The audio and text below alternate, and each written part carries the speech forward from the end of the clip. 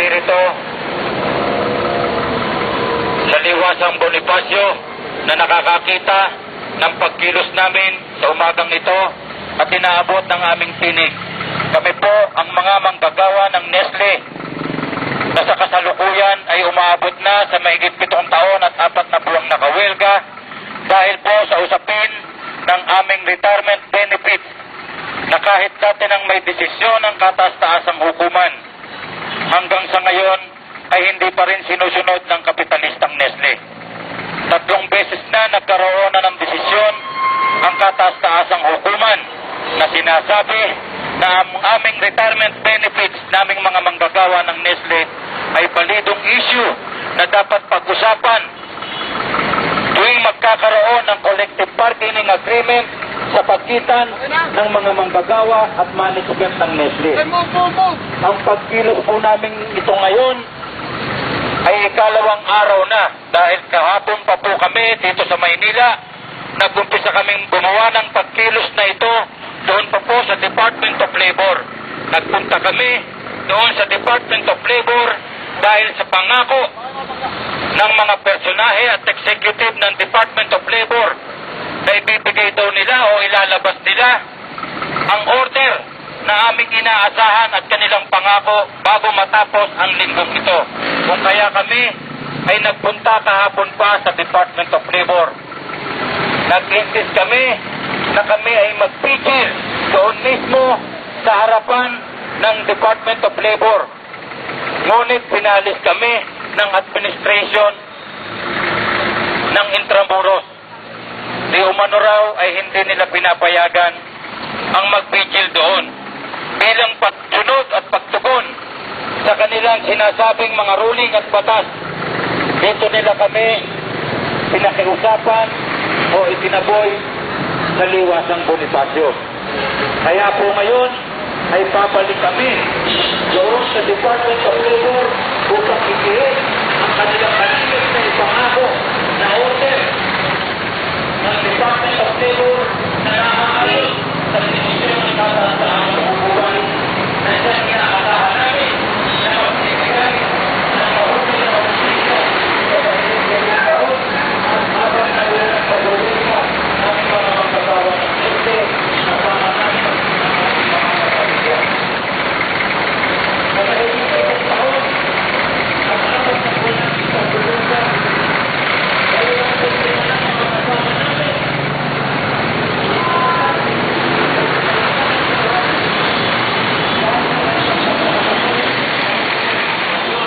Yan po ay dulot ng patuloy na pangaharas at pambababoy ng dayuhang kapitalistang Nestle sa mga desisyon ng kataas-taasang hukuman.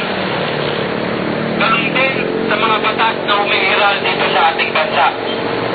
Ang dayuhang kapitalistang Nestle na sanay na sanay na hindi sumunod sa mga inilalabas na resolusyon ng kataas-taasang hukuman at sa mga ilang batas na umiiral nga dito sa ating bansa na siyang nag- nagbibigay o nagtutulot ng patuloy na hirap na dinaranas naming mga manggagawa kasama namin ang aming mga kapamilya.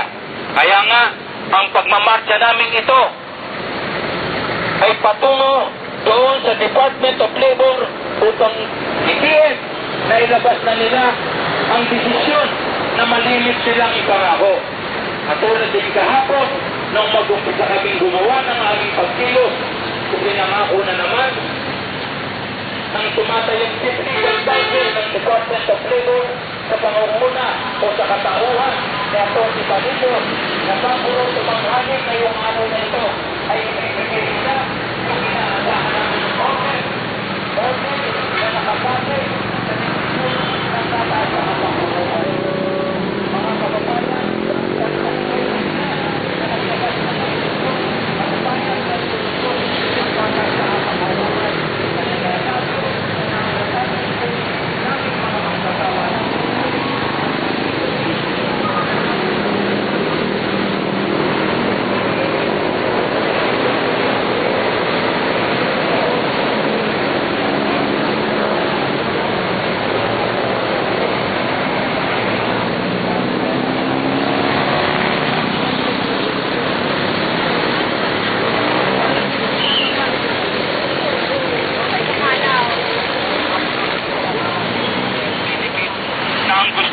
management kahit may desisyon na ang kataas-taasang hukuman ay huwag pa rin itong mapag-usapan sa collective bargaining agreement sa pagitan ng mga manggagawa at management ng Nestle.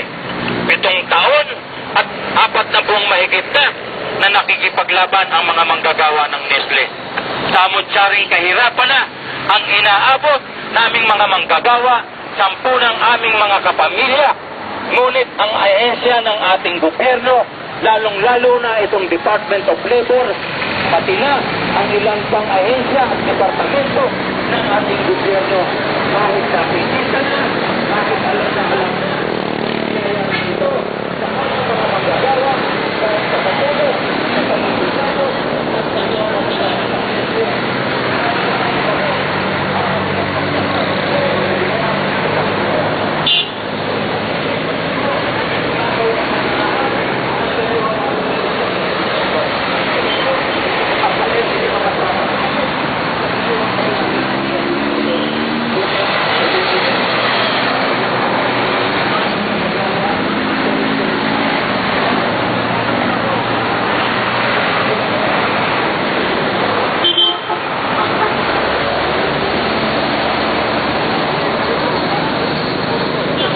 Medyo paspas, medyo paspas. Isang araw, matapos itiknara ng ating sinasabi di umanong kagalang-galang na Pangulo, Pangulong Mandaraya, pagkatapos niyang itiklara ang kanyang calibrated preemptive response upang lalong patindihin ang batas militar na dati na rin idineklara ni Marcos ng kanyang kapanahunan upang patuloy at mas patuloy na palakasin ang pagpapaigting ng batas militar laban sa karapatan ng mga mamamayan, laban sa mga leader na nakikipaglaban at nagsasalita para sa kagalingan ng mamamayan at sambayan ng Pilipino. September 22, 2005, dalawang bala ng kalibre 45 ang tumama sa likod ng aming Pangulo na si kasamang Gustavo Capor Fortuna. Dito sa dayuhang kapitalistang Nestle. Kaya kami pong mga manggagawa, sampu ng aming mga kapamilya, mga manggagawa ng Nestle ay patuloy na humihingi ng inyong pangunawa at ng inyong suporta na sana sa kahit sa pagbuboykot ng lahat ng produktong gawa ng Nestle ay suportahan natin ang mga manggagawang ito na patuloy na niyuyurakan ang karapatan ng kapitalistang Nestle. Patuloy na binubusapos ng kapitalistang Nestle ang mga manggagawa, ang mga manggagawa, mga manggagawa doon sa kabuyaw. Kahit yan ay naglingkod na sa kanya ng mahigit tatlong po at o mahigit tatlong po limang taon. Sa kanyang pinakinabakan, sa gumawa ng